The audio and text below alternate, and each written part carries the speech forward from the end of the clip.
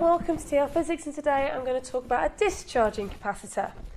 So the formula in your datasheet for a discharging capacitor is Q equals Q naught e to the minus T over R C.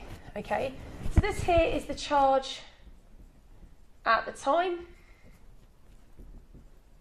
This here is the maximum charge.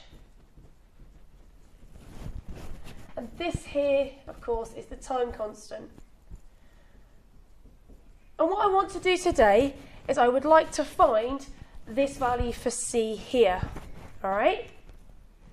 So, I know the charge at the thing is 1 coulomb. My charge at time t is 0.25 coulombs and my time is 1.15 seconds. And I want to find my value for C using this formula. Okay? So, let's put in the information I know. I know that 0.25 equals 1 times e to the minus 1.15 over r, which is, I'm just going to leave rc there at the moment because it's much easier to do this right at the end. So, the first thing I must do is try to get this part here on its own before I do anything with natural logarithms. So I'm going to divide this through and I'm going to end up with 0.25. So 0.25 divided by 1 is of course 0.25 equals e to the minus 1.15 over RC. And then I'm going to natural log both sides. And by natural logging both sides, I remove the E and leave the power. So I go ln 0.25 equals the ln and the E cancel each other out, and I am just left with the power of 1.15 over RC. Okay? So putting this in, ln 0.25 is that there is minus 1.3 uh, 9 equals minus 1.15 over RC. So RC equals minus 1.15 over minus 1.39, which is 0.8283. There you go. So 0.83 is R times C. If I know R is 2 kiloohms, I'll be able to work out C from this. So 2 times 10 to the 3 times by C is 0.83. C is oops, 0.83 divided by 2 times 3 is 415 microfarads. Okay. So that there is 415 microfarads. So what I've done here is I've used the discharging capacitor formula to find the time constant. And one of the things I do do, if I knew both R and C, I would times these together to make a smaller number instead of leaving it all kind of gumpy. However, because I don't know C, I actually leave the RC to the end. I don't put any numbers in for this till the end. Now, what about instead of charges, they give you potentials or they give you currents instead? Well, I know that my capacitance is constant. So therefore, I know C is Q over V.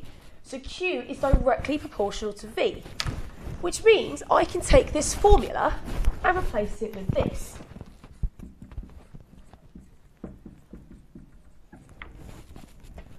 I also know R is constant because it's a time constant. And because I know V and I are proportional, so that V is proportional to I, I can also then change this formula to this.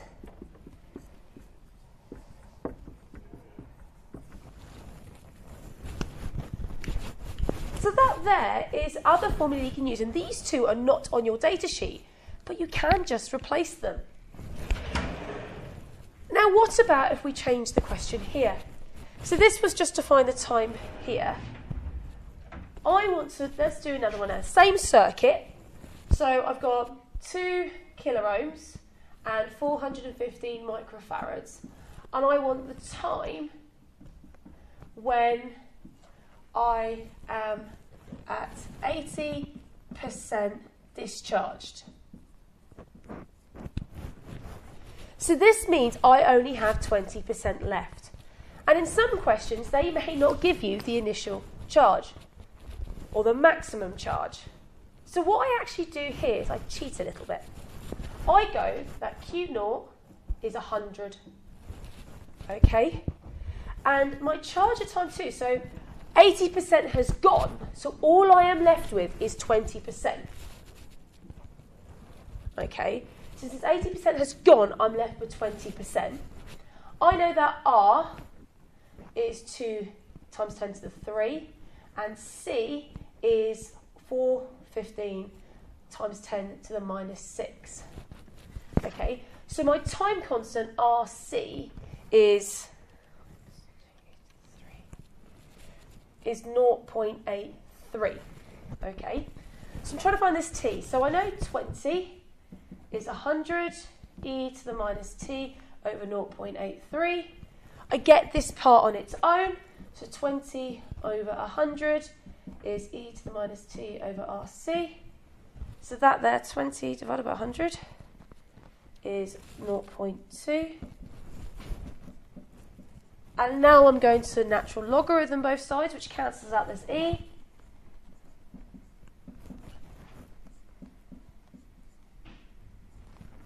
So, so minus 1.61 equals minus t over 0.83. So t equals times 0.83, 1.34 seconds. Okay? And this actually kind of makes sense because I'm asking for when 20 was left, and that took 1.34 seconds, and it took 1.15 seconds to get to 25%. So it looks about right. Now, if I was going to graph this, this is what it would look like. Here's my charge, here's my time, and this is what a graph would look like. With this value here, would be my maximum charge there. So what I've done is shown you the discharging formula. So this is when the electric field has been removed, so the switch is off, and the electrons will start flowing around the circuit there. Okay?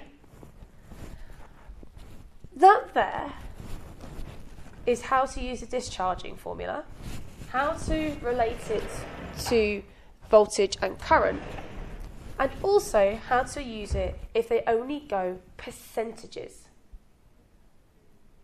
So that there is the capacitor discharging formula.